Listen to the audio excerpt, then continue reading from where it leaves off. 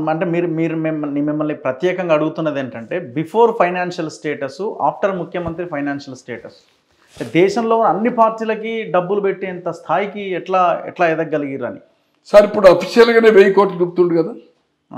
ఈ భారతదేశ చరిత్రలో బీజేపీ పార్టీ ఎప్పుడు పుట్టింది? అంతకుముందు జనసంఘం దీపం గుర్తు. ఇది ఎన్ని సంవత్సరాలు పరిపాలించింది. ఎన్ని చీఫ్ మినిస్టర్స్ అవుతుందో పెద్ద UP chief minister Charan Singh ఉండే. Big state. నితీష్ ఎన్నోసారి ముఖ్యమంత్రి అయిన స్టేట్కు. ఎక్కడైనా హెలికాప్టర్ కరుణానిధి ఎన్నిసార్లు అయ్యాడు? అవును. స్పెషల్ ఫ్లైట్ అండి. లేదు అవును. ఎక్కడికి పోతారు ఫ్లైట్? విమానాశ్రయం ఎక్కడ ఉంటుంది? ఆయన ఎప్పుడు లేవాలి ఎప్పుడు పోవాలి? దానికి మళ్ళీ తోక హెలికాప్టర్. శ్రీనివాసరావు ప్రతిమతో హెలికాప్టర్ కొనిచ్చిండు. హెలికాప్టర్ కొన్నాడు అండి మన యాదగిరి గుట్లో పూజ చేశాడు కదా సాగర్జీ వాళ్ళ బంధువు అవుతాడు గవర్నర్ మాజీ గవర్నర్ మాజీ హోమ్ మినిస్టర్. అవును. తిండికి లేదు సార్. తిండికి లేదు. తిండికి లేని వాడు సార్ ఉమ్. మనం ఇంటర్వ్యూ చేసాం మనం అడిగా నా విషయం చెప్పడం లేదు సార్ పద్నాలుగులో. డిజిటల్ ఏది మోడీ గారు చేశారు కదా అది డబ్బులు ఇవ్వకపోతే ఒక ఐఏఎస్ ఆఫీసర్ కొడుకు బ్రహ్మణుడు ఆయన సర్వీస్ అపార్ట్మెంట్ ఉంది. Last four days ban bandh చేసింది.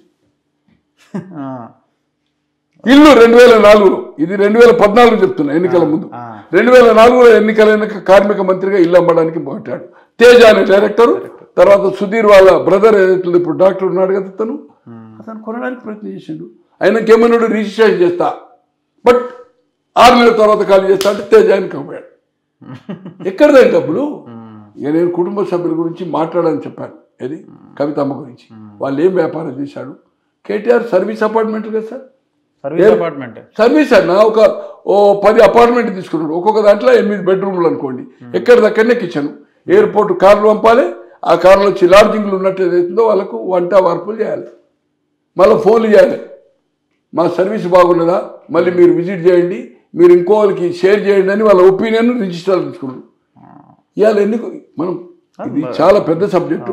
కేటీఆర్ సపరేట్గా నేను I'm giving to the finance department finance minister and finance secretary and IT benami మీద ఎన్ని వేల కోట్ల రూపాయలు ఇవాళ ఆస్తులు అనేది మనం ఓవరాల్గా డిస్కస్ చేస్తున్నాం. మీరు మాకు నాకు లాస్ట్ డిబేట్లో ఆ బిల్డింగ్ గురించి చెప్పారు ఏది మన పంజాగుట్ట సర్కిల్. నేను ఆ ఫ్లైఓవర్ ఎక్కుతూ వస్తుంటే ఇట్లా చూడాల్సి వస్తుంది అసలు అది. అది ఎంత పంజాగుట్ట. నాగార్జున సర్కిల్.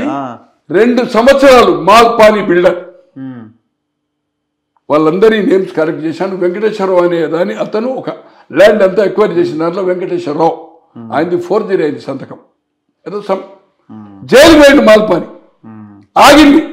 అటువంటిది నాకు ఫోర్ ఎక్స్ట్రా పర్మిషన్ ఇచ్చి. వాళ్ళు పెట్టుకున్న దానికంటే ఒరిజినల్ నేను ఇన్ఫర్మేషన్ యాక్ట్లీ ఇష్టం రావడం లేదు. రాకున్నా పర్లే. నేను ఐటీకి ఇచ్చినాక వాళ్ళే తోముతారు. ఏది ఢిల్లీకి ఇచ్చినాక. ఫైనాన్స్ మినిస్ట్రీకి ఇస్తాను పర్సనల్ కలిసి లేకపోతే ఆఫీసులు ఇస్తాను సెక్రటరీ కలుస్తారు తర్వాత ఐటీ డిపార్ట్మెంట్కి ఇస్తున్నా. ఇట్ షుడ్ బి మామూలు ఐటీ చేస్తున్నావు. మొన్న ఎలక్షన్లో జగదీశ్వర్ రెడ్డి పిఎన్ చేసినావు. ఈ బిల్డర్ చేసినావు అసలు తిమ్మంగళం ఇది. ఆయన క్లాస్మేట్ ఉన్నాడు కదా? రాజు ఎవరు ఉన్నాడు కదా? ఇవాళ జయలలిత ఫామ్. అది తర్వాత మాట్లాడదాం. ఇద్దరు రాజులో ఆయన కొమట ఆయన ఏదైతుందో నల్లగొండ. ఇంకా మర్రి రాజశేఖర రెడ్డి ఉన్నాడా లేదా అనేది ఎట్టు కన్ఫర్మ్ ఎట్టు కన్ఫర్మ్. ఓకే. జయలలిత ఫామ్ కొన్నారు.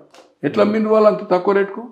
రీజన్ దగ్గర దాంట్లో అసైన్మెంట్ ల్యాండ్ ఉంది అనేది ఒక ఆరోపణ. దే ఆర్ క్లియర్ ఇలా ధరని పేరు మీద సార్? నేను పేరు చెప్పదలుచుకోలే వేల కోట్లు లూటుమారు చేశారు సార్. వేల కోట్లు.